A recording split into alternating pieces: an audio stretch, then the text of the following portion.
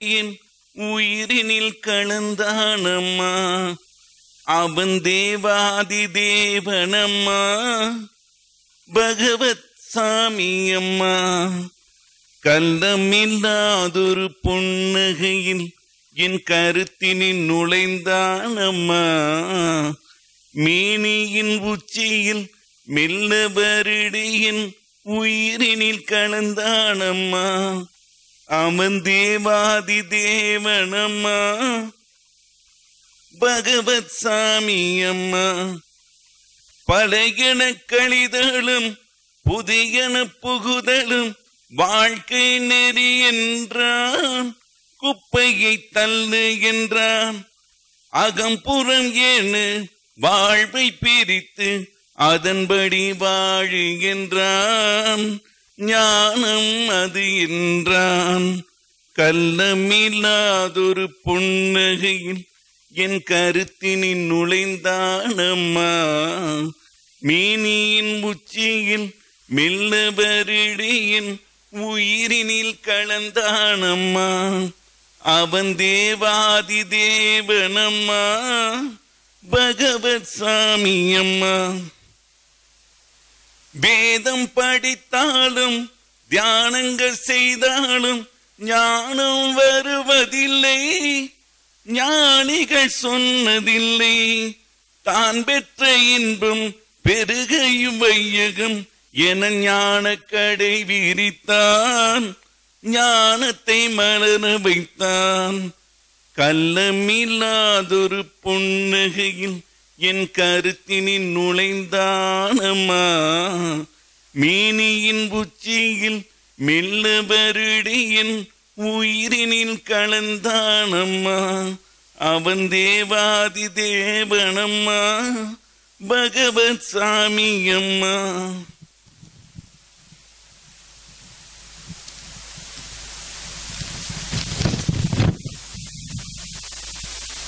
என்னுள்ளே என்னுள்ளே மாற்றம் தந்தது யாரு? மாற்றி விட்டது யாரு? தேடல் போதையா? பகவத் பாதையா? தேடல் போதையா? பகவத் பாதையா? என்னுள்ளே என்னுள்ளே மாற்றம் தந்தது யாரு? மாற்றி விட்டது யாரு? தேடல் போதையா? பகவத் பாதையா? தேடல் போதையா? பகவத் பாதையா? அகத்தில் தோன்றிடும் உணர்வுகள் யாவும் வந்து வந்துதான் போகும். அரை நொடிதானே தங்கும் அஞ்ஞானியோ? உயிர் தந்தான் மெஞ்ஞானியோ? விட்டு விட்டான் அகத்தில் இல்லை வேலை புறத்தில் தானே உண்டு. புரிந்து கொண்டாளே வாழ்வு வசந்தம். புரிந்து கொண்டாளே வாழ்வு வசந்தம். என்னுள்ளே என்னுள்ளே மாற்றம் தந்தது யாரு? மாற்றி விட்டது யாரு? தேடல் போதையா? பகவத் பாதையா? தேடல் போதையா? பகவத் பாதையா? கண்ணாடியில் காணும் காட்சிகள் யாவும் அது முன்னால் நின்றால் தோன்றும். நீ விலகி சென்றால் போகும். வாழ்க்கையோ கண்ணாடிதான் பிரதிபலிக்கும். முன்னாடிதான் அகத்தில் இல்லை முயற்சி. புறத்தில் தானே வேண்டும்? புரிந்து கொண்டாளி வாழ்வு வசந்தம். புரிந்து கொண்டாளி வாழ்வு வசந்தம். என்னுள்ளே என்னுள்ளே மாற்றம் தந்தது யாரு? மாற்றி விட்டது யாரு? தேடல் போதையா? பகவத் பாதையா?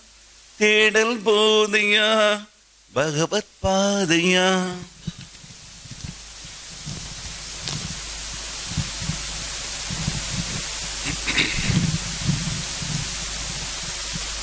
என்னை நானே வெல்ல நல்ல வழியை காட்டு சாமி.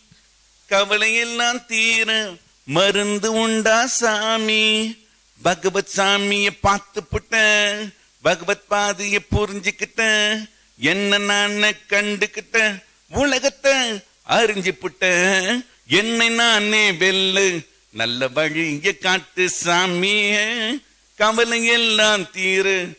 மருந்து உண்டா சாமி? பகவத் சாமிய பார்த்து புட்ட பகவத் பாதிய புரிஞ்சுக்கிட்டு என்ன நான் கண்டுக்கிட்டேன் உலகத்தை அறிஞ்சு புட்ட என்ன நானே வெல்லு. நல்ல வழிய காட்டு சாமி. கவலை எல்லாம் தீரு. மருந்து உண்டா சாமி?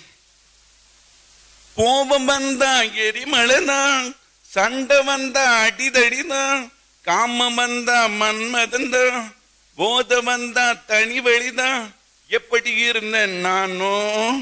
இப்படியான சாமி. உன் பார்வைப்பட்டதால் சாமி. புனித நானே சாமி. என்னை நானே வெல்லு. நல்ல வழிய காட்டு சாமி கவலை எல்லாம் தீரு. மருந்து உண்டா சாமி? பகவத் சாமிய பார்த்து புட்டேன். பகவத் பாதைய புரிஞ்சுக்கிட்டேன். என்ன நானே கண்டுகிட்டேன். உலகத்தை அறிஞ்சு புட்டேன். என்னை நானே வெல்ல. நல்ல வழிய காட்டு சாமி கவலை எல்லாம் தீரு. மருந்து உண்டா சாமி? அன்பு வந்தா மலர்ச்சிதான் ஞானம் வந்தா சூரியன் தான் வாழ்வு வந்தா வாழ்க்கைதான் கருணை வந்தா கடவுள்தான் அப்படி இருந்த நானோ இப்படியான சாமி உன் புன்னகை பூத்ததால் சாமி புத்தனான சாமி என்னை நானே வெல்லு நல்ல வழிய காட்டு சாமி கவலை எல்லாம் தீரு மருந்து உண்டா சாமி?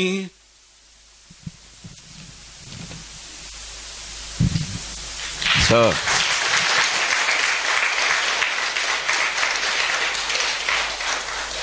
ம், எனது பணிவான வணக்கம். என் பேர் சந்திரன்.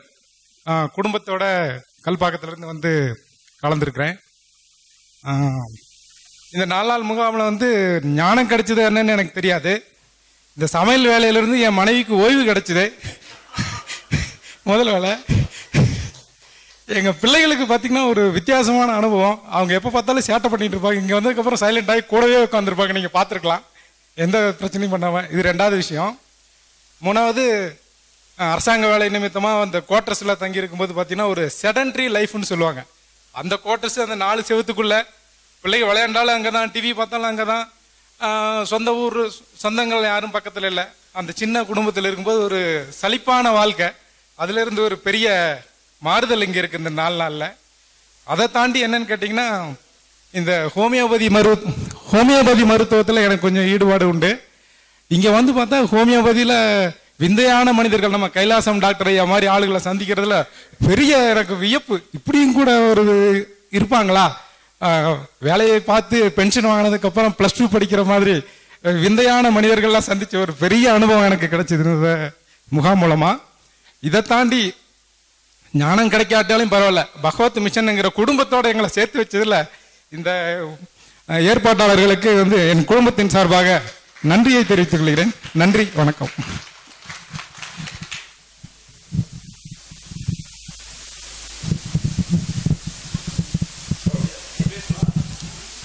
அனைவருக்கும் இனிய காலை வணக்கம். என் பேர் ஷாகுல் ஹமீத். நான் நாகர்கோவிலிருந்து வந்திருக்கிறேன்.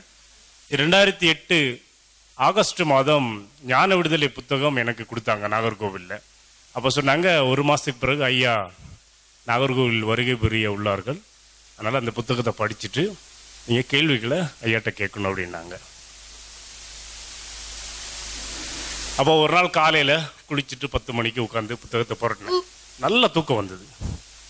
அது காலையில் எப்படின்னா வீட்டில் இருக்கிறதே கிடையாது வெளியே போயிடும் மூடி வச்சுட்டு நல்லா தூங்கினேன் அதுக்கப்புறம் ஒரு மாதமாக மிக கஷ்டப்பட்டு அந்த புத்தகத்தை படித்து முடித்தேன் எதுவும் புரியலை. அதே மாதிரி ஒரு மாதத்துக்கு பிறகு ஐயா நாகர்கோவில் வருகை தந்தாங்க. ஐயாவை பார்த்தேன். நிறைய பேர் கேள்வியெல்லாம் கேட்டாங்க. நானும் ஒரு சில கேள்விகள் கேட்டேன். அப்போ எனக்கு புரியலை. அதுக்கு பிறகு நாகர்கோவில்லையே வேற ஒரு பயிற்சி நான் வந்து கலந்துக்கிட்டேன். மூணு நாள் ஒரு சிறப்பு யோகால்னு வேற ஒரு பயிற்சி. அந்த பயிற்சியில் கலந்துட்டப்ப இந்த புத்தகம் புரிஞ்சுட்டு நான் ஐயாவுக்கு ஃபோன் பண்ணேன். ஒரு மூன்றரை மணி இருக்கும். ஃபோன் பண்ணப்போ அப்போ ஐயா தூக்கத்தில் இருந்தாங்களோ என்ன தெரில ஒரு ரெண்டு நிமிஷம் பேசிட்டு அப்படியே ஃபோன் வச்சுட்டாங்க. அப்புறம் ஒரு நாலே முக்கால் மணிக்கு பார்த்தீங்கன்னா ஐயா என்ன கூப்பிட்டாங்க. ஐயா எனக்கு ஃபோன் பண்ணி ஒரு பதினஞ்சு நிமிஷம் பேசினாங்க. என்ன பண்ணுறீங்க என்ன தொழில் பண்ணுறீங்க அப்புறம் நான் இது ஐயா இப்படி அந்த முன்னாடி உள்ளதெல்லாம் சொன்னேன். இப்படி புத்தகம் படித்தேன் புரியல உங்களை பார்த்தேன் புரியல. இப்போ புரிஞ்சுக்கிட்டீங்க அப்படின்னு. நான் இப்போ நிலை என்ன அப்படின்னா நான் வந்து வேலை பார்க்குறது என்னுடைய பார்த்தீங்கன்னா நான் வந்து நிறைய சேலஞ்சான விஷயங்கள் நிறைய பார்த்துருக்குறேன்.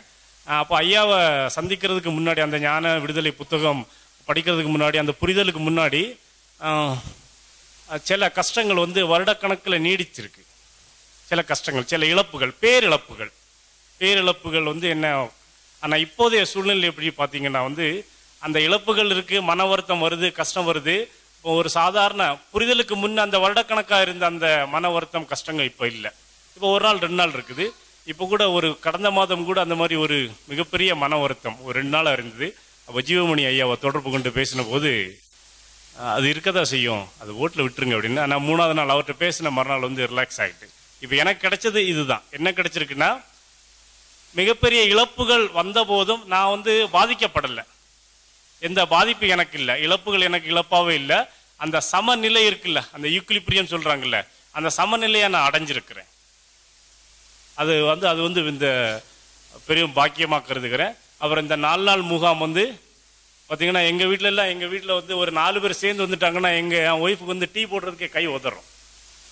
ஆனால் இங்கே பார்த்தீங்கன்னா இப்போ நூற்றி நாற்பது பேர் இத்தனை பேருக்கும் இவ்வளோ சிறப்பாட்டு ஒரு ஏற்பாடு செஞ்சுருக்கிறாங்க. அதில் நான் ரெண்டாயிரத்தி பதினாலில் முதமுறையாக அந்த முகாமுக்கு வந்தேன். அப்போவே இவங்கள்ட்ட ப்ராமிஸ் பண்ணிட்டு போனேன். நான் அடுத்த ஆண்டு குடும்பத்தோட வருவேன்னு. கடந்த ஆண்டு வர முடியல. ஆனால் இந்த வாட்டி எனக்கு வந்து எப்படி ஃபீல் பண்ணுறேன் அப்படின்னா நான் அங்கே முகாமில் கலந்துக்கிடல நான் வந்து ஒரு குடும்ப நண்பர்களோட ஒரு கெட்டுக்குதர் இருக்குல்ல அங்கே தான் உட்காந்துருக்குறேன் மைக் கிடைச்சா விட மாட்டேன். ரொம்ப பேசிட்டு இருப்பேன். அதனால நான் இதோட முடிச்சிடுறேன். நன்றி. அனைவருக்கும். அது நீங்களே கூப்பிடுங்க.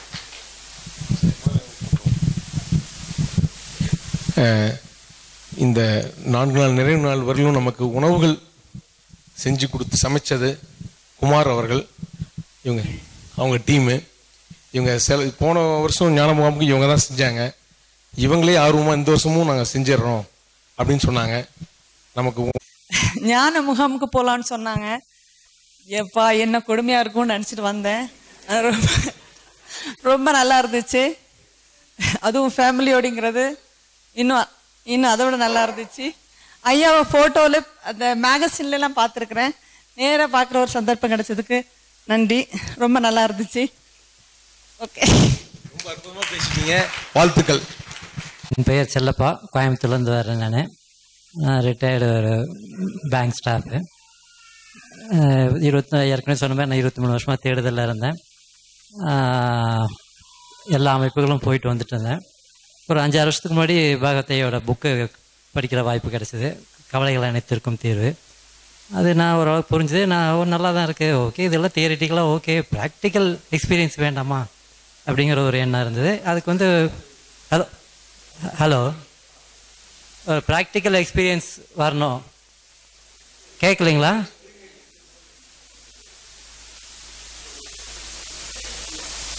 Hello hello hello.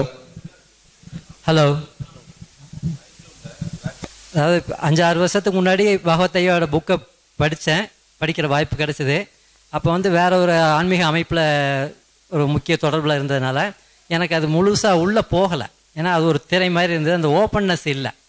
அதனால் அந்த படித்த புக்கில் புக்கில் எனக்கு எந்த குறையும் இல்லை. நல்லாயிருக்கு அப்படிங்கிற ஒரு எண்ணம் தான் இருந்தது. அதில் இன்னொன்று இது தியரட்டிக்கலாக எல்லாம் இதுக்கு நல்லா இருக்குது நம்ம ப்ராக்டிக்கல் அனுபவம் வேண்டாமா அப்படிங்கிற ஒரு எண்ணம் அப்படியே வந்துட்டு இருந்தது. இறைசக்தி வந்து அந்த அமைப்புலேருந்து என்ன அப்படியே பக்குவமாக வெளியே கொண்டு வந்தது. வெளியே வந்தவொடனே அந்த அமைப்பிலேருந்து இன்னொரு நண்பர் வந்து எனக்கு மற்ற புக்கெல்லாம் வந்து மெயில் அனுப்பிச்சார். அதெல்லாம் படித்தேன் படித்து படித்து படித்து எல்லாம் புரிஞ்சிருச்சு. தேடுதல் நிறைவு பெற்றுடுச்சு அப்போவே.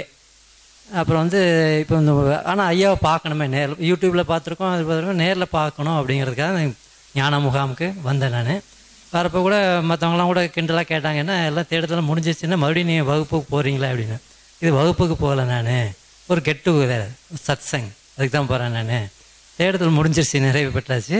இப்போ வந்து சத்சங்குக்கு தான் நான் போகிறேன் ஒரு ஒரு ஃபேமிலி கெட் டுகெதருக்கு தான் போகிறேன்னு அதே மாதிரி தான் இருந்தது எங்கேயும் ஏற்கனவே சொன்ன மாதிரி என்ட்ரிலேயே எக்ஸிட்டும் போட்டாங்க.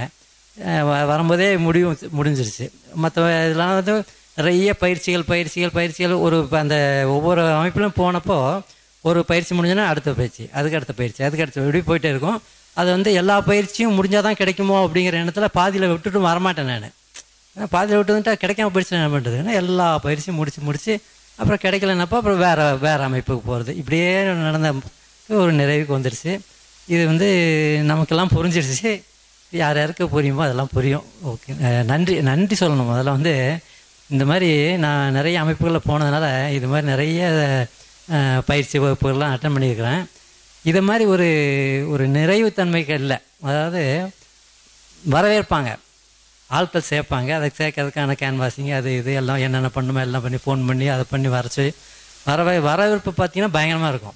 போகிறப்போ வந்து கண்டுக்க மாட்டாங்க. அவன் ரொம்ப கஷ்டப்பட்டு தான் முடிங்க. ஏன்னா அவங்க பர்பஸ் முடிஞ்சுது. அவங்க வந்து வ- வந்தாங்க கிளாஸ் முடிஞ்சது போயிடுச்சு பணம் வந்தால் எல்லாம் கலெக்ஷன் பண்ணாங்க முடிஞ்சது போயிடுச்சு அவ்வளோதான் எந்த எந்த ரிசல்ட் ஒன்றும் இருக்காது. அந்த அங்கே இருக்கும்போது அந்த பயிற்சி வகுப்பில் ஒரு ஒரு பிளிஸ்ஃபுல்னஸ் ஒரு அமைதி. ஏன்னா நம்ம அந்த சுற்றுப்புற சூழ்நிலை உலக சு பிரச்சனைகள் வந்து நம்ம வெளியே வந்துடுறோம் இல்லையா? இங்கே அந்த சூழலில் வந்து ரொம்ப அமைதியாக நல்லாயிருக்கும் அது அங்கே வந்து வெளியே வந்து பஸ் ஸ்டாண்டு வந்தோடனே அது போயிடும். அது அது பஸ் ஸ்டாண்டு வர்றதுக்குள்ளேயே போயிடும் அது. ஏன்னா அங்கே பஸ் ஸ்டாண்டு வரதுக்கே சிரமம் பண்ணணும். ஆட்டோ பிடிக்கணும் அதை பிடிக்கணும். எப்படி போக போகிறோம் இந்த கூட்டத்துக்குள்ளே அப்படிலாம் இருக்கும். இப்போ இது இவங்க வந்து பஸ் ஸ்டாண்டு போகிறது கூட இங்கேருந்து ஏற்பாடு பண்ணியிருக்காங்க. இந்த மாதிரி. இந்த மாதிரி. அப்புறம் வந்து என்னென்னா வந்து ஒரு ஃப்ரீடம் அதாவது ஆன்மீகத்துக்குள்ள ஞான நிலைக்கு நிச்சயமாக விடுதலை விடுதலை பேரே விடுதலை தான். இப்போ விடுதலைன்னா சுதந்திர உணர்வு இருக்கணும். அந்த பயிற்சி வகுப்புலாம் பார்த்திங்கன்னா அந்த சுதந்திர உணர்வே இருக்காது. கரெக்டாக பஞ்சலாம் அந்த ஒரு நிமிஷம் லேட்டானா கூட உள்ளே விட மாட்டாங்க. அது மாதிரிலாம் நிறைய மிலிட்ரி ரூல்ஸ் பண்ணுற அமைப்புகள்லாம் எனக்கு தெரியும். அப்புறம் வந்து இது வந்து யாருக்கும் சொல்லிக் கொடுக்கக்கூடாது அது இது நிறைய கண்டிஷன்ஸ்லாம் இருக்கும். அது மாதிரி ஒவ்வொரு அமைப்பும் ஒரு மாதிரி இருந்தது. அந்த குறை சொல்ல அதுலேயும் எனக்கு நல்ல பலன்லாம் கிடச்சிது. இருபத்தி மூணு பத்து பதினஞ்சு அமைப்புகளில் வந்து எனக்கு நிறைய அனுபவங்கள் கிடச்சிது. அந்த அனுபவங்கள் மூலமாக அடுத்த லெவலுக்கு நம்ம வர்றதுக்கு ஒரு அனுபவமாக இருந்தது. அந்த அனுபவங்கள் வந்து எனக்கு ஒரு படிக்கட்டாக அமைஞ்சுது. அதை வந்து இப்போ குறை சொல்லவோ அதை நிராகரிக்கவோ எனக்கு விருப்பம் இல்லை. இப்போ ஒன்றாம் கிளாஸ் முடிச்சு ரெண்டாம் கிளாஸ் ரெண்டாம் கிளாஸ் மூணாம் கிளாஸ் அது மாதிரி வர மாதிரி ஒரு படிக்கட்டு மாதிரி இருந்தது. அதுதான் உண்மை இது. இப்போ அந்த படிக்கட்டெலாம் தாண்டி இப்போ எங்கே நம்ம தேட வேண்டியதாக இல்லைங்கிறத புரிஞ்சுக்கிட்டு அதை முடிஞ்சிருச்சு. இப்போ தேடி தேடி தேடி அடைய வேண்டியது இல்லை தேட வேண்டியது இல்லை எதுவுமே இல்லைங்கிறத புரிஞ்சு போச்சு. அது புரிதலுக்கு அது அது அந்த பயிற்சி முயற்சி எல்லாமே ரொம்ப உறுதுணையாக இருந்ததுங்கிறது உண்மை. ஏன்னா அதனால அந்த பயிற்சி முயற்சிலாம் இல்லைன்னா இது இவ்வளோ எளிமையாக நமக்கு புரிஞ்சிருக்குமான்னு தெரியல. எனக்கு எனக்கு தெரில சில பேருக்கு முதலே நே எளிமையாக புரிஞ்சிருக்கும். இப்போ ரொம்ப அருமையாக இருக்குது இது வார்த்தைகளால் அனு வார்த்தைகளால் நன்றி சொல்ல முடியாது.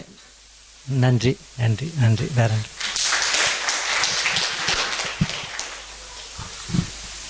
நான் பெங்களூர்லேருந்து வந்திருக்கேன் ஃபேமிலியோடு வந்திருக்கோம். ஸோ நான் வந்து ஹீலர் பாஸ்க்காக தான் ஃபஸ்ட் தேங்க்யூ சொல்லலாம் அவர் தான் இங்கே பாயிண்ட் பண்ணி விட்டார். ஏப்ரல் ஃபஸ்ட்டு வீக் வந்து இந்த புக் படித்தேன் நீங்களும் ஞானி ஆகலாம். ஆகாமிய கர்மான். பயங்கர ஷாக் ஆயிடுச்சு. என்னடா அது இப்படிலாம் விஷயம் இருக்குது இப்போது நான் ஏன் நான் நல்லா வேலையில் இருந்தேன். ஒரு ஃபிஃப்டீன் இயர்ஸ் ஒர்க் பண்ணியிருந்தேன். வேலை போர் அடிச்சிடுச்சு ஸோ விட்டுட்டேன் வேலையை. இனிமேல் ஒரு நாற்பது வருஷத்துக்கு இந்த ஸ்பிரிச்சுவலை ஓட்டிலாம் ஜாலியாக இருந்தேன். இங்கே வந்த மாதிரி தான் தெரியுது இங்கேயும் ஒன்றும் பண்ண முடியாதுன்னு இப்போ நல்லா மாட்டிக்கினேன். ஸோ சமத்தையாக மாட்டிக்கினேன். இப்போ ஒய்ஃப்கிட்ட கூட காரணம் கூட சொல்ல முடியாது. வேலை செய்ய செஞ்சு தான் ஆகணும் இப்போ நான் வெளில போய். ஃபைவ் மினிட்ஸ் இப்போ ஆக்சுவலாக ஃபஸ்ட்டு என் தம்பிக்கிட்ட சொன்னேன் ஏய் இது யாரோ ஒரு என்லைட்டன் பர்சன் இருக்காருப்பா சென்னையில். கண்டுபிடி என்ன மேட்டர்னு பாருங்க அப்படின்னு அமிச்சேன். அவன் போயிட்டு ரவிச்சந்திரன் சார்கிட்ட போய் கேட்டான் சார் யாரும் என்லைட்டன் பர்சன் இங்கே பீச்சில் தான் பேசிட்டு இருக்காரு யார் அவர்? அப்படின்னு கேட்டான். ஆமாம்ப்பா அவர் என்லைட்டன் பர்சன் தான். அவர் சொன்ன தமிழை என் தம்பி பயந்துட்டான். அவர் எப்படி சொன்னார்னா எனக்கு கிடைச்ச இந்த பழரசம் எல்லாருக்கும் கிடைக்கணும் அப்படின்னு சொன்னான். அவன் பயந்துட்டான். ஏய் என்ன என்னென்ன சொல்கிறா சீக்கிரம் நீ வா அப்படின்னா சரி கிடுகிடு எல்லாம் போய் கூட்டம் கட்டிட்டு வெஸ்மாம்பலத்தில் போய் உக்காந்தோம். நான் சே, ஓ யாரோ வரப்போறாரு பயங்கரமாக அப்படியே யாரோ உட்காந்து யாரோ வெள்ளை சட்டை போட்டு உட்காந்துருக்காங்க ஒரு சேரில் யாரும் அது அப்படி சாதாரணமாக அப்படி இருக்காரு. அப்போ இன்ட்ரடியூஸ் பண்ணுங்க. இவர் தான் பகவத்தையான்னு. ஓ ஓகே எங்கள் அம்மா கூட்டு போயிருந்தேன் எங்கள் அம்மாவுக்கு வந்து ரொம்ப நாளாக தலைவலி பயங்கரமாக இருந்தது. ரொம்ப கஷ்டப்பட்டாங்க ஆக்சுவலாக திடீர்னு எங்கள் அம்மா ஒரு ஃபைவ் மினிட்ஸ் கழிச்சு டே தலைவலிலாம் போயிடுச்சு. திடீர்னு திடீர்னு தலைவலிலாம் போயிடுச்சு. இது என்னடா அது இது பயங்கரமாக இருக்குது அப்படின்னாங்க. சரி அப்புறம் ஆனால் சில புக்கெலாம் படித்து தெரிஞ்சுட்டு இவரே சொல்கிறாரு எனக்கே தெரியாதுப்பா யார் யாரோ வந்து என்ன சொல்லிட்டு போகிறாங்க நமக்கு வந்து நான் எதுவும் சேர்த்து இல்லை மாய மாத்திரம்லாம். அவங்களே தெரிஞ்சுக்கிறாங்கலாம் ஸோ ரொம்ப சாதாரணமாக இருந்தது. ப்ளஸ் நேற்று சொன்ன விஷயம் ரொம்ப இன்ட்ரெஸ்டிங்காக இருந்தது. என்னையே டிலீட் பண்ணிவிடுங்க அப்படின்றாரு உங்கள் மைண்டில் ஆக்சுவலாக ஜென்ரலாக வந்து ஹீரோயிசம் தான் நம்ம நிறைய பார்த்துருக்கோம். அப்படியே எனக்கு ஒரு பல கோடி ஃபாலோவர்ஸ்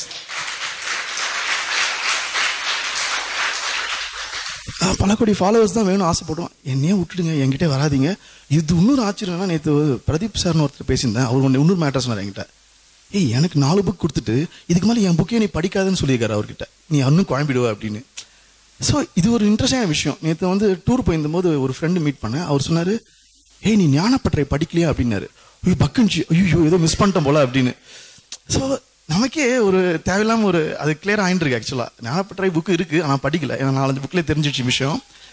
அவர் சொன்ன உடனே ஒரு திரும்பி பார்த்துட்டு ஆயிடுச்சு ஐயோ அதில் வேற ஏதோ விஷயம் இருக்கு போல நம்ம மிஸ் பண்ணிட்டோம் அப்படின்னு. ஸோ ஆனால் பட் இங்கே பகவத்தையாக்கு ரொம்ப நன்றி. அது தவிர மிஷன் ஃப்ரெண்ட்ஸ்லாம் ரொம்ப பயங்கர சப்போர்ட்டிவ் அதாவது இது ஒரு குவாலிட்டி ஆஃப் த மிஷன்லேயே தெரியுது. அதாவது எனக்கு கட்சிச்சு இனிமேல் அவங்க எனக்கு எப்படின்னு தான் போனோம் அப்படின்னு இல்லாமல் ஓ உனக்கு கொஸ்டின் டவுட்ஸ் இருக்கா? வா எல்லா டவுட்ஸையும் கேளு. என்னென்ன டவுட்ஸ் இருக்கா? இல்லாததெல்லாம் கேளு. அப்புறம் அவங்களே ஒரு புது டவுட்டை கொடுத்து அவங்களே கிளியர் பண்ணிடுறாங்க. இது மாதிரி ஒரு ஜென்ரலாக ஒரு என்விரான்மெண்ட் வந்து பெரிய விஷயம் ஆக்சுவலி ஸோ ஃபார் எக்ஸாம்பிள் நான் நிறைய நிறைய பேர் மீட் பண்ணேன் இந்த சீனியர் மெம்பர்ஸ்லாம் ஓ, இது மட்டும் இல்லை உனக்கு இந்த டவுட்டும் வரும் அதுக்கு இதுதான் ஆன்சர் அப்படின்னு சொல்லி க்ளோஸ் பண்ணிடுறாங்க சாப்டரே ஸோ சில பேர் வந்தோடனே சொன்னாங்க ஏய் இங்கே போர் அடிக்குதுப்பா ஒன்றுமே இல்லை அப்படின்னாங்க நான் நினச்சேன் என்னடா ஞா என்லைன்மெண்ட் வந்திருக்காங்க போர் அடிக்குதுன்றாங்க. கொஞ்சம் அவங்க அந்நியானம் நான் நினச்சிட்டேன். இப்போதான் தெரியுது ஆமாம் இது போர் தான் இது வெளில போயிட்டு இனிமேல் புறத்தில் ஃபோக்கஸ் பண்ணி நல்லா ஜாலியாக சம்பாதிச்சு மற்றவங்களுக்கு ஹெல்ப் பண்ணோம் எல்லாருக்கும். இந்த மாதிரி ஞானம் கிடைக்கிறதுக்கு அவங்களுக்கு ஒரு பாயிண்டராக இருக்கணும்னு அது ஒரு ஜென்ரலாக ஒரு மோட்டிவேஷன் வருது. So this is really thank the Bhagavat mission and very happy and ரொம்ப ஃபார்ச்சுனேட் ரெண்டு மாதத்துலேயே இது க்ளோஸ் ஆயிடுச்சு மேட்டர் இல்லைன்னா நாற்பது வருஷம் வேஸ்ட் ஆயிருக்கும். ஸோ அதாவது அவர் சொல்கிறாரு என்ன மாதிரி காப்பி அடிக்க வேணாம் அப்படின்றாரு. நான் நான் ரொம்ப டார்ச்சர் கொடுத்துருக்கேன். அவர் வீட்டுக்கு போயிட்டு கேள்வி மேல கேள்வி மேல கேள்வி மேல கேள்வி மேல கேட்டு கேட்டு கேட்டு அப்படியே அதே ஆன்சரை அப்படியே பொறுமையாக திருப்பி திருப்பி.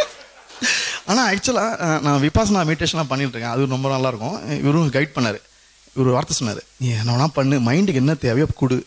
தானாகவே அதே எடுத்துக்கும். அப்படியே ஜாலியாக இரு. அப்படியே லைஃப்பை என்ஜாய் பண்ணு. ஒன்றும் டென்ஷன் ஆகிக்காத இந்த புக்ஸ்லாம் படி. வேணா படி. அது எல்லாம் அண்டர்ஸ்டாண்டிங் இரு அப்படின்னு சொல்லிட்டாரு. ஸோ uh, இப்போ திடீர்னு இந்த முகாம் வந்த உடனே இந்த முகாமோட இம்பார்ட்டன்ஸ் பயங்கரம் புரியுது. நம்ம ஃப்ரெண்ட்ஸு ரிலேட்டிவ்ஸ் எல்லாம் உடனே வந்த முதல் நாளே சொல்லிட்டார்ல இது முகாம் முடிஞ்சு போச்சு இனிமேல் நீங்கள் போகலாம் அப்படின்ட்டாரு. உடனே என்ன ஃபீல் பண்ணா ஓ எங்கள் அம்மா மிஸ் பண்ணிட்டாங்க வர முடியல. ஏன்னா அவங்க வேற கிளம்புறாங்க ஃபாரின் என் தம்பி ஊருக்கு கிளம்புறாங்க. ஸோ வர முடியல அப்படின்னு சொல்லிட்டு ஒரு ஒரு கவலை தான் ஆச்சு. ஐயோ மிஸ் பண்ணிட்டுமே. ஓ இவங்கள கூட்ட வர முடியல ஓ அவங்கள கூட்டம் வர முடியும் அது இது ஒரு ஆட்டோமேட்டிக்காக வருது இந்த ஃபீலிங் அதாவது இது ஒரு ரொம்ப சிம்பிளான விஷயம். இதை முடிச்சிட்டாங்கன்னா அவங்க அவ்வளோதான் இனிமேல்ட்டு ஜாலி ஆகிடுவாங்க இன்னொரு ஒரு விஷயம் சொன்னார் ஒருத்தர் என்கிட்ட ரொம்ப சீனியரான மனுஷன். அவரும் நல்ல ஒரு குட் ஸ்டேட்டஸாக இருக்காரு. என்லைட்டன் பொறுத்த வரைக்கும். என்கிட்ட சொன்னார் நீ ஏதாவது ஒரு- நீ என்லைட்டன் வாங்கியிருக்க நீ ஒரு மிகப்பெரிய கடனாளி ஆகிட்ட அப்படின்னாரு. பயந்துட்டான். ஐயோ அப்போ என்னன்னா ஜன்ம ஜன்மத்துக்கும் அந்த என்லைன்மெண்ட் கொடுத்த ஒரு பிறவி எடுத்தா நீ வந்து அவர் கடனை தீக்க பிறவி எடுத்து தான் ஆகணும் அப்படின்னாரா பக்குஞ்சி இது என்னடா வம்பா போச்சு அப்படின்னு. அப்புறம் இங்கே வந்து நான் தெரிஞ்சுட்டேன். ஓகே இது மாதிரி இவர் எந்த ஜென்மம் எடுத்தாலும் இது மாதிரி முகாம்லாம் போட்டு இது மாதிரி டூர்லாம் வச்சு இது மாதிரி ஜாலியா இருந்தா எவ்வளோ ஜென்மனா எடுக்கலாம்? அப்படியே கூட வந்துனே இருக்கலாம் பிரச்சனை கிடையாது.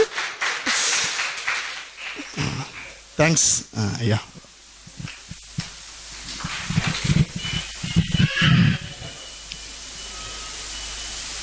அனைவருக்கும் எனது அன்பான வணக்கம். ஒரு ஆறா ஆறு மாதங்களுக்கு முன்னாடி மிஸ்டர் சிவகுரு தான் எனக்கு ஐயாவை அறிமுகப்படுத்தினார். அப்போ நூல்கள் கவலைகள் அனைத்திற்கும் தேர்வு. ஞான விடுதலை. எளிது எழுது ஞானம் மிகவும் எளிது. இந்த நூல்களை படித்த உடனே ஏதோ உள்ளுக்குள்ளார ஏதோ கொஞ்சம் வேலை செய்கிற மாதிரி தோணுச்சு. அப்புறம் ஐயா அந்த சைக்கலாஜிக்கலாக சொல்லும் பொழுது அகம்புறம் இதெல்லாம் சொல்லும் பொழுது அகத்தில் நாம் செய்ய வேண்டியதுக்கு ஒன்றும் இல்லை.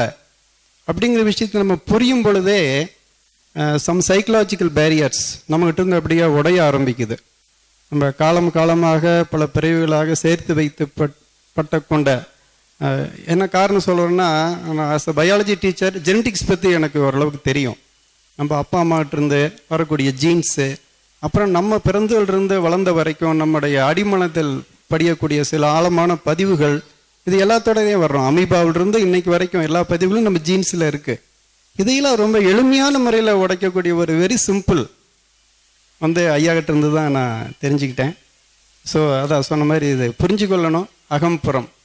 அடுத்த ரொம்ப முக்கியமான விஷயம் நான் சொல்ல வர்றது இந்த ஞானம் என்பது ஒரு ஒரு குறிப்பிட்ட ஒரு இனத்தவருக்கு மட்டும்தான் சொந்தம். திருப்பதிக்கும் இமயமலைக்கும் போகிறவங்களுக்கு மட்டும்தான் சொந்தம். ஒரு சுடலை மாடன் கோவிலுக்கு போகிற ஒரு முனியப்பன் கோயிலுக்கு போகக்கூடிய ஒரு மனிதனுக்கும் ஞானம் அடைய முடியும். அப்படிங்கிறத வந்து ஐயா ரொம்ப எளிமையான முறையில் செஞ்சது இது சொல்லப்போனால் இது ஒரு ஞான புரட்சின்னு சொல்லலாம். ஏன்னா சாதாரண மக்கள் நம்பலாம். அதிகபட்சம் போனால் கோவிலுக்கு போவோம். கோவிலுக்கு போகிறது கூட எதுக்கு போகிறோம் அதை கொடுப்பா எதை கொடுப்பா காப்பாற்றுப்பா அல்லது பெண்களுக்கு கோவிலே இல்லைன்னா பைத்தியம் முடிச்சுக்குவாங்க. ஏன்னா அவங்களுக்கு சொல்லக்கூடிய இடம் அங்கே ஒன்று தான் பக்கத்தில் யாட்டா சொல்லிட்டாங்கன்னா அங்கே எங்கேயாச்சும் போய் சொல்லிடுவாங்க அங்கே இருக்கக்கூடிய சாமிகிட்ட சொல்லிட்டோம்னா அது எங்கேயும் சொல்லாது. ஸோ அதனால தான் அதிகமான அளவில் பெண்கள் கோவிலுக்கு போகிறாங்க ஸோ இதுக்கெல்லாம் ஒரு ஒட்டுமொத்த தீர்வு நம்ம ஐயா கிட்ட கிடச்சிருக்கு. ஸோ அதுக்காக நம்ம ரொம்ப நன்றியுடையவர்களாக இருக்கணும். அவருக்கு நம்ம நன்றி செலுத்துறதுன்னா அவர் சொன்னபடி நம்ம வாழ்ந்து காட்டணும். அவ்வளோதான் அடுத்தபடி இப்படி ஒரு அருமையான சூழ்நிலை அமைச்சு கொடுத்த மிஸ்டர் ஜீவமணி சரவணன் அவங்களுடைய குழுவினர் கைலாசம் எல்லாத்துக்கும் ரொம்ப அருமையான சூழல். இங்கே பார்த்தீங்கன்னா அந்த இடமே ரொம்ப நம்பிய ரம்மியமாக இருக்குது ஒரு வெப்பம் இல்லாமல் ஒரு கடுமையான மழையும் இல்லாமல் இந்த சூழ்நிலை இந்த இடத்த தேர்ந்தெடுத்து நம்ம செஞ்சு கொடுத்துருக்காங்க. ஸோ அவங்களுக்கு நம்ம அந்த டீம் எல்லாத்துக்கும் ஒரு மூணு நாலு பேர் பேர் தான் ஞாபகம் இருக்கு. அதனால் அவங்களுக்கு நன்றி செலுத்திக்கிறேன். அவங்க டீமுக்கும் நன்றி தான். அடுத்தபடி இப்படி ஒரு இடத்த இந்த சிஸ்டர்ஸ் கான்வென்ட் நமக்கு கொடுத்துருக்காங்க? ஸோ சில டிஸ்டர்பன்சஸ் எல்லாம் இருக்கும். நம்ம பேசுறது அந்த குழந்தை விளையாடுறது அவங்க இது பேரே பீஸ் ஹவுஸ்ன்னு கொடுத்துருக்காங்க.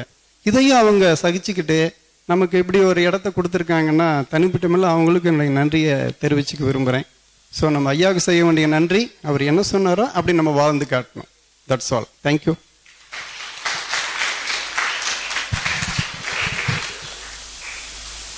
என்னோட பெயர் ராஜன். சென்னையிலேருந்து வந்திருக்கேன். முதல்ல இங்கே கூடியிருக்கும் எல்லா ஞானிகளுக்கும் என்னுடைய பணிவான வணக்கம். ஏன் இப்படி சொல்கிறேன்னா முகாமில் கலந்துக்கிட்டாலே ஐயாவை பொறுத்தவரையிலும் ஐயா முகாம்னா கலந்துக்கிட்டாலே அவங்க ஞானி தான் அதில் எந்த மாற்று கருத்தும் இல்லை. எனக்கு வந்து ஐயாவுடைய புக்கு வந்து ஆகாமியா கர்மா தான் முதல்ல பார்த்தேன். அதுதான் என்னை ஒரு ஈர்த்துது. அந்த புக்கை பார்த்து தான் இதுக்கு மேலே வந்து ஆன்மீகத்தில் எதுவும் இல்லை அப்படின்னு உடனே தோணுச்சு. ஆனால் நான் அதை சரியாக படிக்கலை. அறகுறையாக தான் படித்தேன் அதே போல் ஐயா புத்தகங்களையும் நான் வந்து ரொம்ப ஆழ்ந்து படித்தேன்னு சொல்ல முடியாது. ஆனாலும் எனக்கு அந்த ஒரே ஒரு விஷயம் மட்டும் தான் ஐயா திருப்பி திருப்பி சொல்கிற அகத்தில் நீ எதுவும் செய்ய முடியாது. அப்படின்னு சொல்கிற விஷயம் மட்டும் மனசில் அப்படியே பதிஞ்சே இருக்கும். அதுக்கப்புறம் எனக்கு அந்த புரிதலும் ஏற்பட்டது. தெளிவுலேயும் இருந்தேன். ஆனால் தெளிவில் கொஞ்சம் பிரச்சனை இருந்தப்போ இங்கே வந்தப்போ சரவணன் சார்கிட்ட கேட்டேன். அவர் வந்து அப்படிதான் இருக்கும். அது மாதிரி இருந்தாலும் நீங்கள் தெளிவில் தான் இருக்கீங்க. அப்படின்னு சொன்ன பிறகு அந்த தெளிவு உறுதியாக மாறிச்சு. அதனால் இந்த ஞான முகாமில் கலந்துக்கிட்டதை நான் வந்து ஒரு பாக்கியமாக நினைக்கிறேன். இன்னொரு விஷயம் என் மனசில் என்ன படுதுன்னா ஆன்மீகத்தை தேடுறவங்க தான் வந்து ஞானம் அடையணும் அப்படின்ற ஒரு கட்டாயம் பகவத் ஐயா சொல்கிற விஷயத்தில் இல்லை.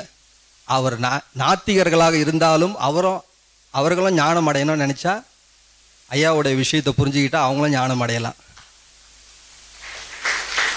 இதுக்கு வந்து ஆன்மீகமே தேவையில்லை.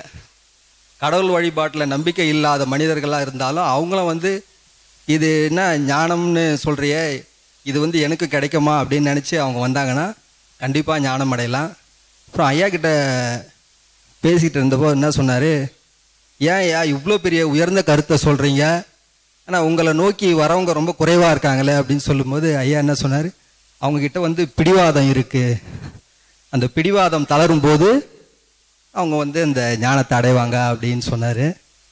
நான் வந்து இறைவனை இயற்கையை வேண்டிக்கிறதுன்னா மக்களுக்கு அந்த பிடிவாதம்லாம் குறைஞ்சி சீக்கிரமாக வந்து எல்லாரும் ஞானிகளாக மாறினா ரொம்ப நல்லா இருக்கும். அனைவருக்கும் வணக்கம். நன்றி. ஐயா நன்றி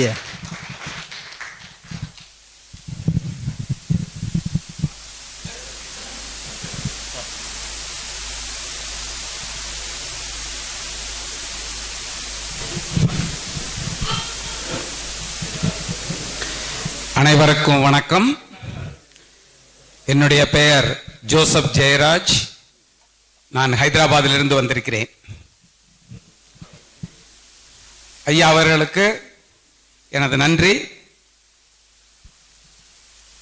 அவர்களாகவே எனக்கு ஃபோன் செய்து என்னை வரவழைத்தார்கள். அதற்கு என்னுடைய நன்றிகள். அப்புறம் இங்கு வந்ததிலிருந்து என்னையும் உங்களையும் நன்றாக கவனித்துக் கொண்டிருக்கும் ஜீவமணி சார் அவர்களுக்கும் சரவணன் சார் அவர்களுக்கும் மற்றும் அவர்களது டீம் அத்தனை பேருக்கும் என்னுடைய மனமார்ந்த உள்ளங்கனிந்த நன்றிகளையும் தெரிவித்துக் கொள்கிறேன். மூன்றாவதாக ஐயாவினுடைய புஸ்தகங்கள் எல்லாவற்றையுமே படித்திருக்கிறேன். மோரார்லஸ் நைன்டி பர்சன்ட் நினைக்கிறேன். வீடியோஸ் சிடிகளையும் பார்த்திருக்கிறேன். ஐயாவையும் மெட்ராஸிலும் பார்த்து பேசினேன். பிறகு ஹைதராபாத்திலும் பார்த்தேன். பிறகு இங்கும் கலந்துரையாடலிலும் கலந்து கொண்டேன். ஐயா அவர்கள் கூறியது போல என்னையும் நான் ஞானியாக உணர்கிறேன்.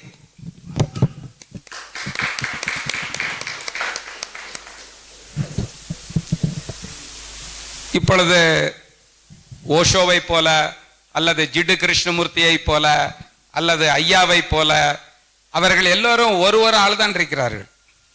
எத்தனையோ பேர் அவர்களிடம் போகிறார்கள் பட் அவர் ஒருத்தர் தான் இருக்கிறாங்க அதே மாதிரி இங்க கூட நான் நினைக்கிறேன் நம்ம வந்து ஆயிரக்கணக்கான பேர் வருகிறார்கள்.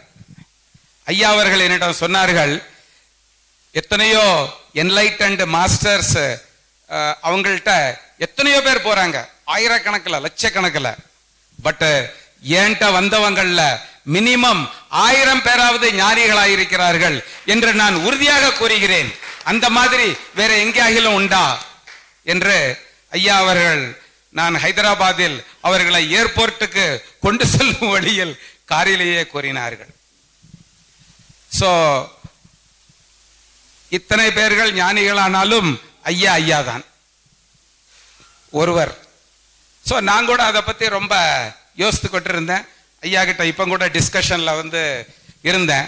நானும் அந்த மாதிரி ஆக முடியுமா? ஒரு ஓஷோ ஒரு ஜிடு கிருஷ்ணமூர்த்தி ஒரு ஐயா பகவத் ஐயா அதே மாதிரி நானும் வந்து ஒரு ஜெயராஜாக ஆக முடியுமா? என்றால் இயற்கை இறைவரம் இறைவன் என்ற சக்தி நம்மை உபயோகித்துக் கொண்டால் அவ்வாறாக ஆவோம். இல்லை என்றால் இல்லை. நமது கையில் என்ன இருக்கிறது? நாம் நினைத்து இந்த இடத்தில் பிறந்தோமா? இந்த ஸ்கூலில் படித்தோமா? இந்த வேலை செய்தோமா? ஒன்றுமே இல்லை. நாளை நமக்கு தெரியாது எப்பொழுது இந்த உடம்பும் மனமும் மார்- மறையும் என்று. எல்லாம் அதுவாகவே நடந்து கொண்டிருக்கிறது. எனவே அந்த ஒரு இறை சக்தி யாரை யாரையெல்லாம் எப்படி எப்படியெல்லாம் பயன்படுத்திக் கொள்ளுகிறதோ அதன்படி விட்டு விடுவதுதான் விவேகம் என்று நான் அறிந்து கொண்டேன். எனவே இந்த உடம்பு இந்த மனம் என்கின்ற ஜெயராஜ் என்ற எந்திரத்தை அந்த இறை சக்தி எப்படி யூஸ் பண்ண வேண்டுமோ யூஸ் பண்ணி கொள்ளட்டும். அவ்வளவுதானே ஒழிய நான் அவ்வாறாக மாற வேண்டும் இவ்வாறாக மாற வேண்டும் என்று நினைத்தால் நான் முட்டாள் ஞானி அல்ல. ஆனால் இப்பொழுது நான் ஞானி. எனவே இந்த கருத்தை நான் தெரிந்து கொண்டேன். சோ இதற்கு மேலும் தேடுதல் இல்லை. அதற்காக நான் இன்று ஐயா அவர்களுக்கும் சரவணன் ஜியோமணி சார் அவர்களுடைய டீம் அவர்களுக்கும் மற்றும் நம்ம எல்லாரும் சேர்ந்து இங்கு வந்ததினால் எல்லோருக்குமே நன்மை கிடைத்திருக்கிறது.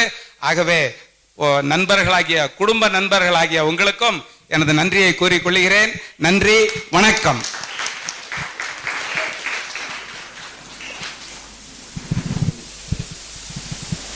ஐயா வணக்கம்.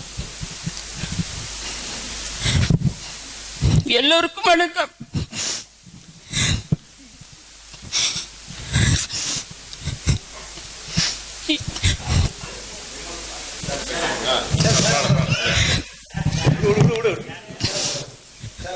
இவங்க வந்து எங்கள் அத்தை எங்கள் வீட்டுக்காரமோட அம்மா. அதனால் கொஞ்சம் எமோஷனலாக இப்போ தான் ஃபஸ்ட் அட்டன் பண்ணுறாங்க வேற ஒன்றும் இல்லை.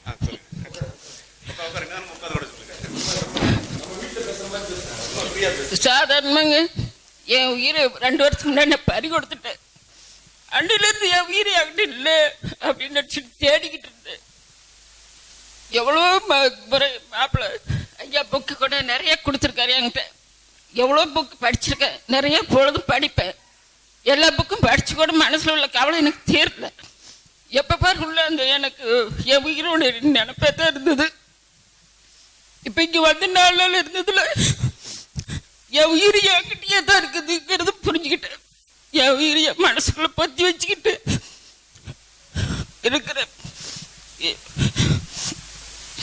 இங்க வந்ததுக்கு எங்க மாப்பிள்ளைக்கு தான் என்ன நன்றி சொல்லணும். என் உயிரை கொஞ்சம் கொஞ்சமா மீட்டு கொண்டு வந்தது அவர்தான்.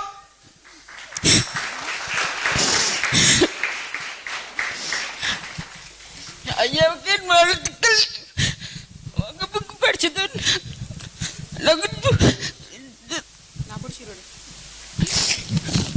உங்க புக்கு படிச்ச உயிரை மீட்டுக்கிட்டேன்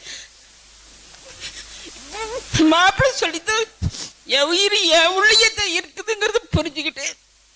அதனால ரொம்ப நன்றிங்க. எல்லாத்துக்கும் நன்றி.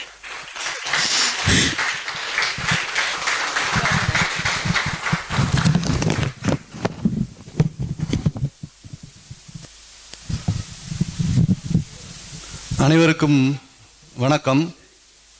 நான் ஒரு ஆறு மாதம் முன்னாடி ஏற்கனவே சொல்லியிருந்தேன். ஒரு ப்ராப்ளம் நான் வரும்போது தான் என்னோடய சிஸ்டரோட ஃப்ரெண்டு தீபா சொல்லித்தான் இந்த அமைப்பை பற்றி தெரிஞ்சுக்கிட்டேன். ரொம்ப கஷ்டத்தில் இருக்கும்போது தீபா தான் ஐயாவிட்ட பே பிஸியாக இருப்பாங்க. நீங்கள் ஒரு தடவை சரவணன் சார்கிட்ட பேசுங்கன்னு சொன்னாங்க. அந்த ப்ராப்ளம் அந்த இது கஷ்டப்பட்டுட்டு இருக்கும்போது சரவணன் சார் சரவணன் சார்கிட்ட ஒரு பத்து நிமிஷம் பேசினேன். என்னோட ஃபிஃப்டி பர்சன்டோட இது குறைஞ்சிருச்சு. இப்போ நான் என்ன சொல்ல வர்றேன்னா இதுக்கு முன்னாடி சரவணன் சார் ஒய்ஃபோட அம்மா வந்து அழுதாங்க. என்னடா இப்படி நம்ம மாப்பிள்ளையோட உங்க மாப்பிள்ளை உங்களுக்கு மாத்திரம் உயிரை கொடுக்கல. இங்க எத்தனையோ பேர் உயிர் கொடுத்துட்டு இருக்காங்க. ஐயா நீங்க தப்பா எடுத்துக்கிடாதீங்க நாங்க வந்து உங்களை பேசுறதுக்கு நீங்க எப்போ வேணா நீங்க உங்கள்கிட்ட பேசலாம். பட் நாங்க பண்ற டைம் வந்து உங்களுக்கு டிஸ்டர்ப் ஆகுமோன்னுட்டு நான் சரவணன் சார்கிட்ட ஒரு நைட்டு பத்து மணி பதினோரு மணி பேசினாலும் சரி நான் வந்த உடனே முகாம் வந்த உடனே நான் தேர்ந்தது வந்து சரவணன் சார் ஒய்ஃப் மற்றும் ஜீவமணி சார் ஒய்ஃபு நம்ம மனோகரன் சார் சார் உங்கள் ஒய்ஃபெல்லாம் காமிங்க சார் முதல்ல உங்கள் காலில் விழுகணும்னு சொன்னேன். ஏன் சார் நீங்கள் இல்லை சார் என் ஒய்ஃபுக்கு ரெண்டு கால் வந்தாலே தூங்கிட்டு இருக்கும்போது என்னங்க நீங்கள் நாங்கள் தூங்கிட்டு இருக்கேன். ஒரு மிஸ் இருக்கார் உங்கள் ஃப்ரெண்ட் இப்பதான் பேச சொல்லுதா? அப்படி அண்ணா ஆனால் சரவணன் சார் ஒய்ஃப் பதினோரு மணிக்கு ஃபோன் பண்ணாலும் என்னதான் பண்ணிட்டு இருப்பான்? ஒரே பெட்ரூமில் தானே இருப்பாங்க. ஒன்றுமே சொல்ல மாட்டாங்களான்னு நானே வெக்கப்பட்டிருக்கேன். அதனாலம்மா உங்கள் பையன் வந்து எவ்வளவோ உங்கள் மாப்பிள்ளை வந்து எவ்வளவோ புண்ணியம் பண்ணிட்டு இருக்காரு. அந்த புண்ணியம் வந்து உங்கள் சந்ததிக்கும் கிடைக்குங்கனால நாங்க உங்களுக்கு மாத்திரம் உயிரை கொடுக்கல. எங்க எல்லாத்துக்கும் கொடுத்துருக்காங்க. ஐயா கொடுத்துருக்காங்க. சரவணன் சார் கொடுக்காங்க. மனோகரன் சார் கொடுக்காங்க. ஜீவகணி சார் கொடுக்காங்க. இவங்கெல்லாம் நீண்ட ஆயுளோட பெற்று எங்களுக்கும் எங்க தலைமுறைக்கு இதுக்கு மேல ஸ்ட்ரெஸ் ரொம்ப இருக்கும் நாங்க நினைக்கோம் எங்க தலைமுறை அடுத்து வர எங்க பையங்கள்லாம் பாத்தீங்கன்னா இப்ப இருக்கிற காம்படிஷனுக்கு அவனுக்கு இன்னும் ரொம்ப ஸ்ட்ரெஸ் இருக்கும். ஐயா வழியில அவங்களும் எங்களுக்கு எங்க பையங்களுக்கும் ஒரு வழிகாட்டியா இருந்து பண்ணணும்னு சொல்லிக்கிறேன். ரொம்ப நன்றி. ஏன்னா இவங்க உழைப்பெல்லாம் நாங்க பண்ண முடியாது. ஏதோ எங்களால பார்ட்டிசிபேட் கூட பண்ண முடியல. ஒரு அவன் அவங்க உழைச்ச உழைப்பில் நூறு பர்சன்ட்ல நாங்கள் ஒரு பர்சன்ட் கூட பண்ணல. பட் எங்களால் முடிஞ்சதை எங்கள் ராஜபாளையத்துக்கு வரும்போது ஏதோ உங்களால் எங்கள் எங்களால் முடிஞ்சதை நான் பண்ணுவேன்ட்டு எப்போ வந்தாலும் ராஜபாளையத்துக்கு வரும்போது எங்கள் நம்பரை கொடுத்துருக்கோம். ஏதோ எங்களால் பண்ண அளவுக்கு உதவி பண்ணுறோன்னு சொல்லி இந்த முகாமில் கலந்துக்கிட்டு எனக்கு வாய்ப்பு கொடுத்த என்னோட சிஸ்டர் தீபா அவர்களுக்கும் உங்களுக்கும் நன்றியை தெரிவிச்சுக்கொள்றேன்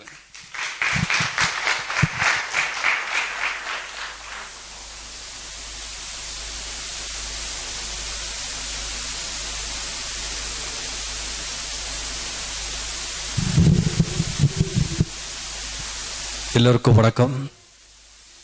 இப்போ இந்த முகாம் ரொம்ப சிறப்பாக நடந்துட்டு இருக்கு நம்ம நாம் அனைவருமே பல வழிகளில் பெனிஃபிட்டாக இருக்கோம். ஞானம் ஞானம் அடைஞ்சிருக்கோம் பல பிரச்சனைகளுக்கு வந்து சொல்யூஷன் கிடச்சிருக்கு. இந்த இது இதை வந்து பல பேர் முன்னு மு- முன்னின்று நடத்திட்டு இருக்காங்க நம்ம ஆல்ரெடி கேள்விப்பட்டோம்.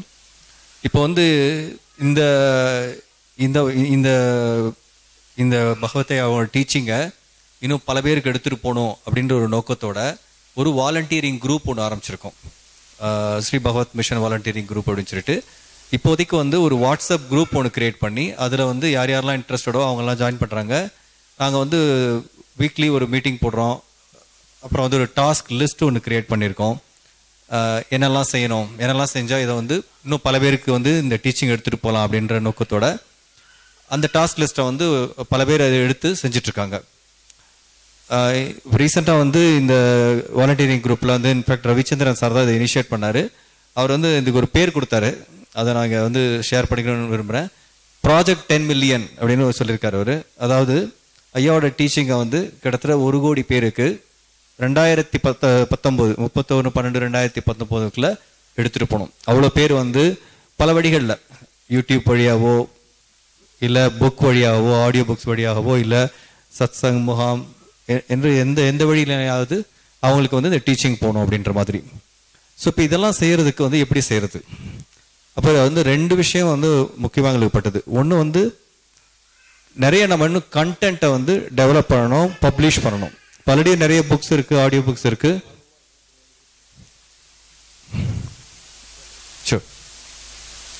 அப்போ க கண்டென்ட்டை வந்து நம்ம வந்து ஏற்கனவே நிறைய புக்ஸ் இருக்குது நிறைய யூடியூப் வீடியோஸ் இருக்குது அதை வந்து இன்னும் வந்து எளிய வழி வழியில் இன்னும் பல பேருக்கு வந்து யூஸ்ஃபுல்லாக இருக்கிற மாதிரி அந்த கண்டென்ட்டை கொஞ்சம் ஃபைன் டியூன் பண்ணலாம். இல்லை புது கண்டென்ட் கிரியேட் பண்ணலாம். இப்போ க கண்டென்ட்ன்றது ஒன்று கண்டென்ட்றது வந்து நம்ம வந்து பல விஷயங்கள் சொல்லலாம். ஆர்டிக்கலாக இருக்கலாம் பிளாகாக இருக்கலாம். ஆறு வந்து ஒரு இப்போ நம்ம நீங்கள் இந்த இதில் பகவத் பாதைன்ற மேகசினில் எழுதுகிற ஆர்டிக்கலாக கூட இருக்கலாம்.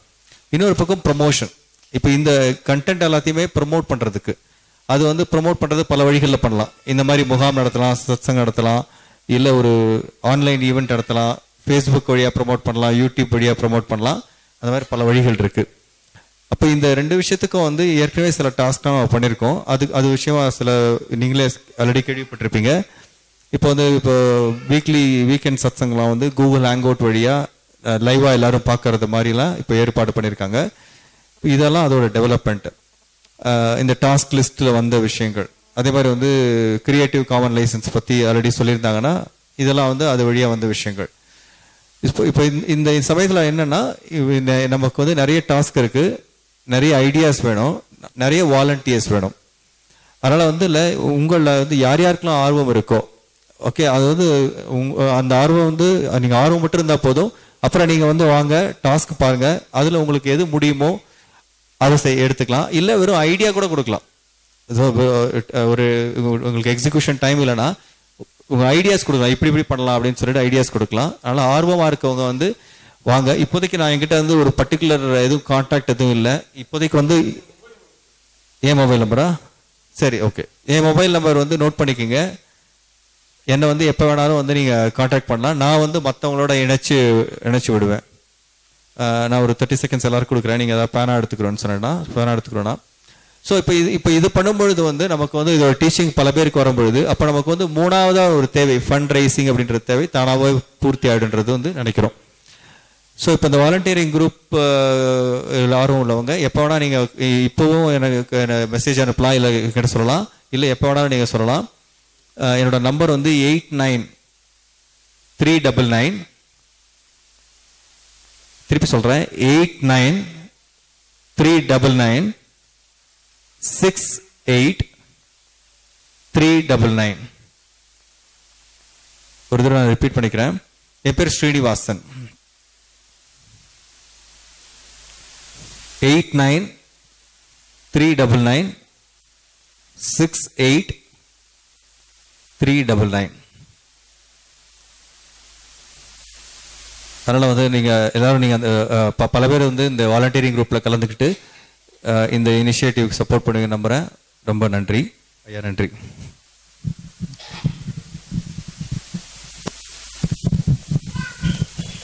எல்லாருக்கும் வணக்கம். நான்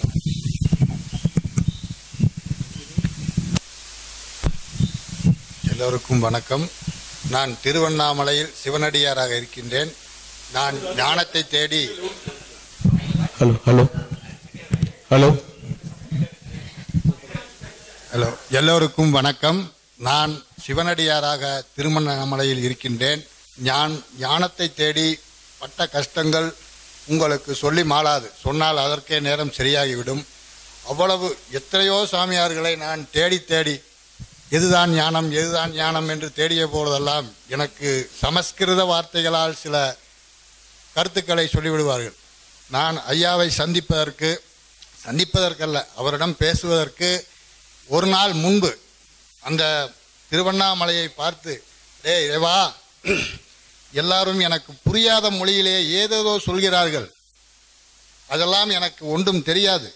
ஆனால் நீ நீ என்னை ஏற்றுக்கொள்ள வேண்டும். என் மரணத்திற்குள் என்று ஒரு கண்- கண்ணீர் கண்ணீர் வரும்போது என்னை அறியாமல் இவருடைய எழுதிய புஸ்தகம் நீங்களும் ஞானியாகலாம் என்னும் புஸ்தகம் கிடைத்தது.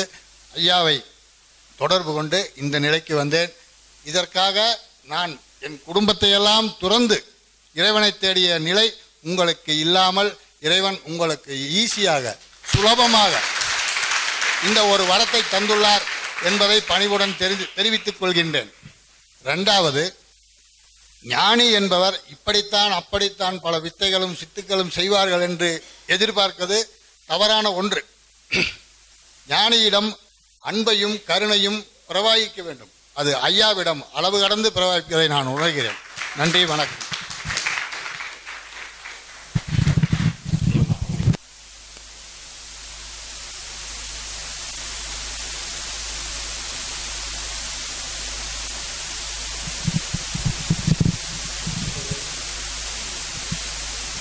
எல்லோருக்கும் வணக்கம்.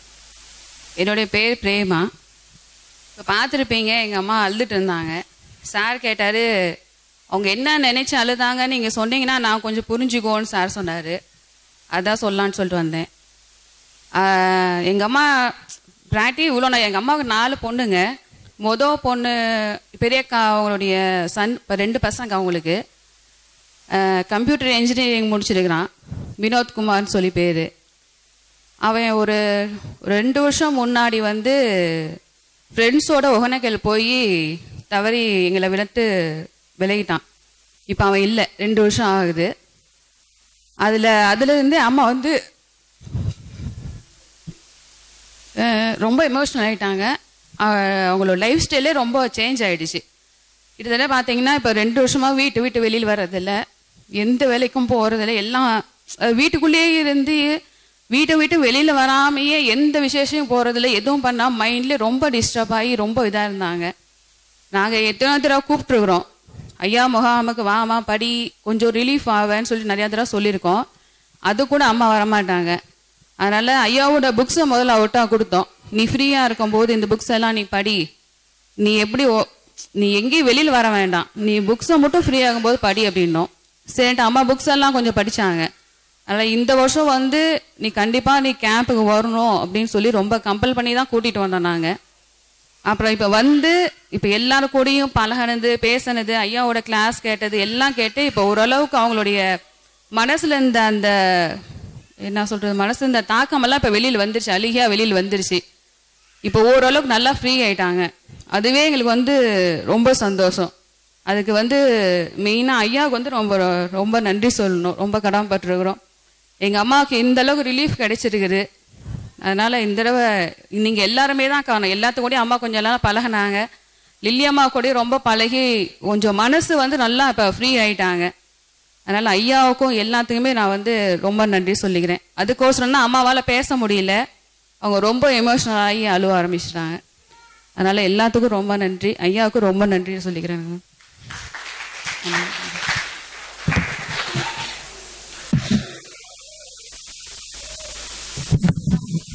எல்லாருக்கும் வணக்கம். இடையில ஒரு நண்பர் ராஜன் நாத்திகராக இருந்தாலும் ஆனார். நூறு பெர்சன்ட் நாத்திகர். நான். நூறு பெர்சன்ட் நாத்திகர் நான். ஆனால் எனக்கே புரிகிற அளவுக்கு இந்த ஞானத்தை புரிய வச்சதுக்கு ரொம்ப நன்றி.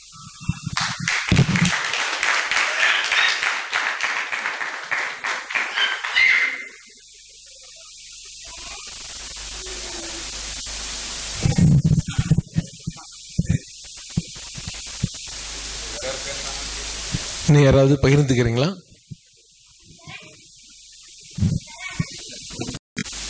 எல்லாருக்கும் வணக்கம். ஃபஸ்ட்டு இந்த அரேஞ்ச்மெண்ட் பண்ணி கொடுத்த சாருக்கு ஜீவமணி சார் ஐயா வாலண்டியரிங் எல்லாத்துக்கும். அப்புறம் ஃபுட்டு தங்கறதுக்கு இடம் கொடுத்த எல்லாத்துக்கும் ஃபஸ்ட்டு நன்றி. உண்மையாக நான் ரெண்டாயிரத்தி எட்டுலேருந்து நிறையா இந்த மாதிரி ஸ்பிரிச்சுவல் குரூப் போயிருக்கேன். இந்த மாதிரி இந்த அளவுக்கு சாட்டிஸ்ஃபை பண்ணுற மாதிரி பண்ணல. ஃபர்ஸ்ட் டைம் உண்மையாக பார்க்குறேன் ரொம்ப சந்தோஷம். ரெண்டாவது ஞானங்கிறதெல்லாம் நமக்குலாம் இல்லை. நமக்கு வயசாகணும். அப்பதான் கிடைக்கும் போல அப்படின்னு நினச்சிட்டு இருந்தேன். உண்மையாக இன்னைக்கு ஒரு ஞானியாக திரும்பி போகிறதுல ரொம்ப சந்தோஷமாக இருக்குது அதாவது அது மைண்டுக்குள்ளே கொண்டுட்டு வந்துட்டோம்னாவே அது வந்துடும் அப்படிங்கிறத ஐயா நல்லா புரிய வச்சுட்டாரு. அதை எங்கேயோ இருக்குது எங்கேயோ இருக்குது அப்படின்னு தான் இவ்வளோ ரெண்டாயிரத்தி எட்டுலேருந்து நினச்சிட்டே இருந்தோம். பல ஸ்பிரிச்சுவல் குரூப்புக்கு போயிருக்கோம். உண்மையாக அதெல்லாம் தப்புன்னு சொல்ல அதெல்லாம் ஃபர்ஸ்ட் ஸ்டாண்டர்ட் செகண்ட் ஸ்டாண்டர்ட் நினைச்சிட்டேன். ஆனால் கண்டிப்பாக இது ஒரு யூனிவர்சிட்டி இப்போ யூனிவர்சிட்டி முடிச்சிட்டோம்னா வேறு என்ன நம்மளுக்கு ஒன்றுமே கிடையாது. அடுத்து டைரெக்டாக அதுக்கு உண்டான வேலை தான். இப்போ நம்ம இதை நம்ம கண்டிப்பாக லைஃப்பில் க பண்ணி பார்க்குறப்ப கண்டிப்பாக நமக்கு ஞானம் ஞானி தான் இப்போ. இருந்தாலும் ஹண்ட்ரட் பர்சன்ட் நம்ம நினைக்கிற அளவுக்கு வந்துடுவோங்கிற நம்பிக்கை இருக்குது ரொம்ப சந்தோஷம். தேங்க்ஸுங்க நன்றி. இப்போ நம்ம ஞானமுகமுடைய நிறைவுக்கு வந்துட்டோம். ஞானியா நம்மளை நம்ம புரிஞ்சுக்கிட்டோம். இந்த ஞா வாங்க. நன்றிகள் வரவேற்கப்படுகிறது. வாங்க.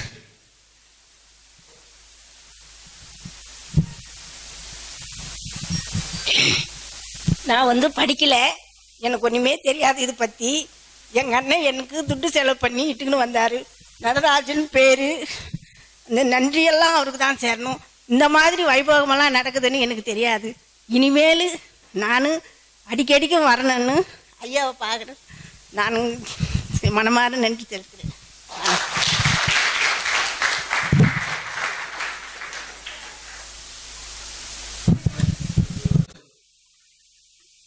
நம்ம வருஷ வருஷம் நடத்துகிறோம் கிட்டத்தட்ட ஒரு இது நடத்துறதுக்கு ஒரு ரெண்டு மாசம் மூணு மாசத்துக்கு முன்னாடியே நம்ம பிளான் பண்றோம். எப்படி எப்படி பண்ணணும் அப்படின்ட்டு எல்லாத்துக்கும் நிறைவா அவங்க வசதிகள் பண்ணி கொடுக்கணும் அப்படின்னு சொல்லிட்டு எல்லா வகையான ஏற்பாடும் பண்றோம்.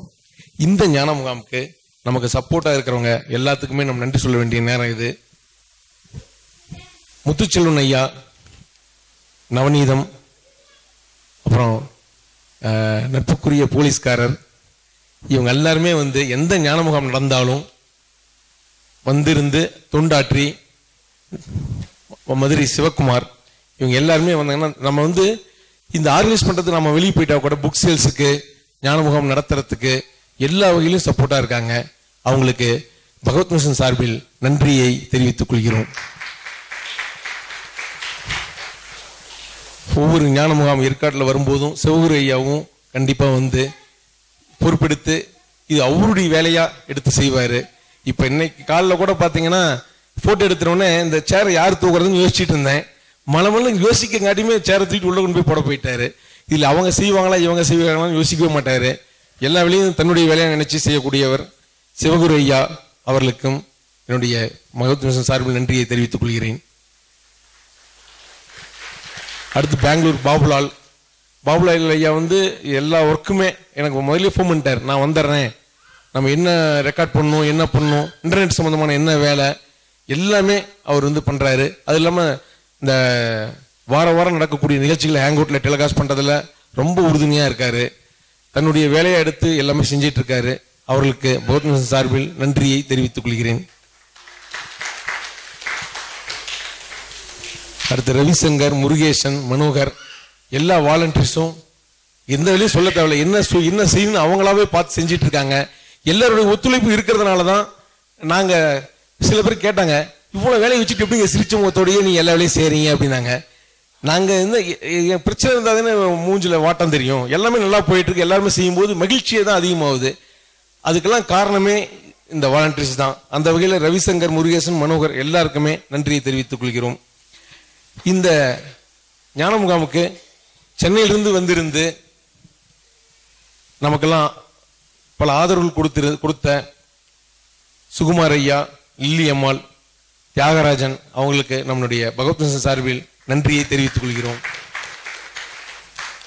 ஹைதராபாத்லேருந்து வந்திருந்து நமக்கு ஏற்கனவே ஹைதராபாத் மீட்டிங் போனப்பையும் ஐயாவை வந்து அவ்வளோ தூரம் கவனிச்சு எந்த குறையும் இல்லாமல் நாங்களும் ஆக்சுவலாக இங்கே சுற்றிக்கிட்டே இருந்தோம். ஹைதராபாத்தில் எங்களுக்கு வேலையே இல்லை. நாங்களும் ஐயா கூட ஜாலியாக உட்காந்து பேசிட்டு இருந்துட்டு கலந்துட்டு ஏன்னா நல்ல ஏற்பாடு இவங்க பண்ணிட்டாங்க. அந்த ஏற்பாடுகளை பண்ணியிருந்த ஹைதராபாத்லேருந்து வந்திருக்கக்கூடிய மங்களகௌரி அம்மா அவர்கள் அவங்க குடும்பம் ஜெயராஜ் ஐயா தியாகராஜன் ஐயா அனைவர்களுக்கும் நம் நன்றியை தெரிவித்துக் கொள்கிறேன்.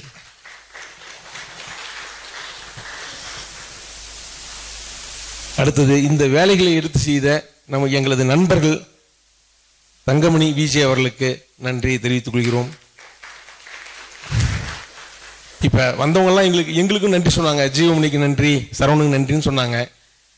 இப்போ வந்து என்னன்னு கேட்டிங்கன்னா இதை நான் எப்படி பார்க்குறேன் அப்படின்னா ஒரு கோயில் இருக்கு மலை மேலே. மலைக்கு தரிசனம் பண்ணுறதுக்காக கோயில் மலி படியேறி போய் தரிசனம் பண்ணி ஆகணும். அது கரடு முரடான பாதையாக இருக்குது அந்த பாதையை சீரமைக்கிறதுக்கு பார்த்தீங்கன்னா படி ரெடி பண்ணுறோம் இரவில் போகிறதுக்கு லைட் ரெடி பண்ணுறோம் சாமியை தரிசனம் பண்ணுறதுக்காக இந்த படி ரெடி பண்ணது யார்? சொல்லி இந்த படியில் பேர் போடுறாங்க. படி உபயம். இந்த படி உபயம்னு போடுறோம். லைட்டு இந்த லைட் உபயம் அப்படின்னு போடுறோம். அந்த மாதிரி நாங்களாம் படிகள் படிக்கற்களாக இருக்கக்கூடியவங்க தான். அந்த நன்றியை நாங்கள் இப்படி வாங்கிக்கிறோம். ஆனால் இந்த சாமிக்கு யார் நன்றி சொல்கிறது இந்த மலைக்கு யார் நன்றி சொல்கிறது அது மாதிரி தான் ஐயா. ஐயாவுக்கு நன்றி சொல்லணும் அப்படின்னா நாம் இது வார்த்தையாலேயோ வேற எதாலையுமே நம்மளால் சொல்ல முடியாது. ஏன்னா இது வந்து